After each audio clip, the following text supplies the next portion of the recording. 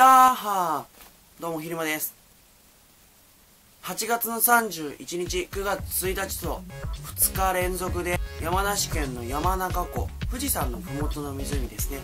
そこで行われるスイートラブシャワーに行ってきます。1日目は参加しないんですけども9月1日明日行きます。イエーイ。スイートラブシャワーは毎年豪華なバンドやアーティストが出ることで有名なフェスです。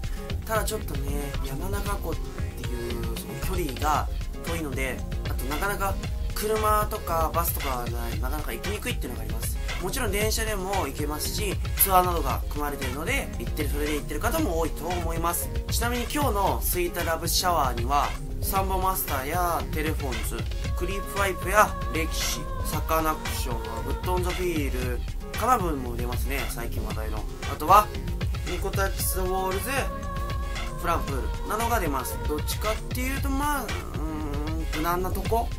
そのねパンチが効いてるロックっていうかいやいやいやボーリー出ますもんね。今日の方が行きやすいのかもね初めて行くからねもしかしたら。まあ明日の方が僕は明日行くっていうか明日らしか行くつもりなかった。明日の方が暑いっすよね。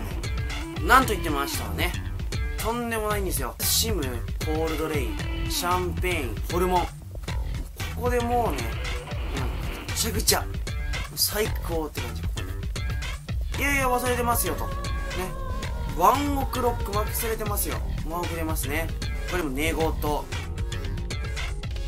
これこれこれハイエタスも出ます。いやー久しぶりっすね。あとはあとはホワイトアッシュ。楽しみラブシャ実はウーバーのダイバーシティも昨日行ってきて最高に楽しかったんで。あとはこれあとはこのウーバーからのラブシャの流れ。楽しみますよ。しゃー！あ。キャリーパミュパミュ。どうでもいいや。